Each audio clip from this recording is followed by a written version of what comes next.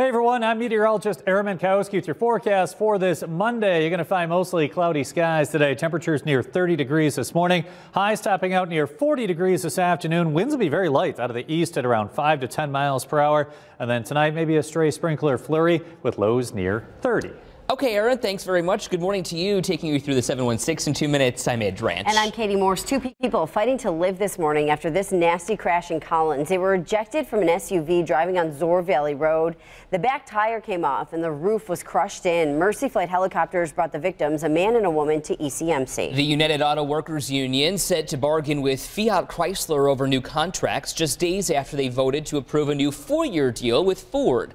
The union said Friday more than 56 percent of of workers voted in favor of a deal similar to the one they got with GM. Fiat Chrysler will be the last of the Detroit three to settle on a deal. This morning, the Bills are off to one of their best starts in decades. They are 7 and 3 after crushing the Dolphins in Miami.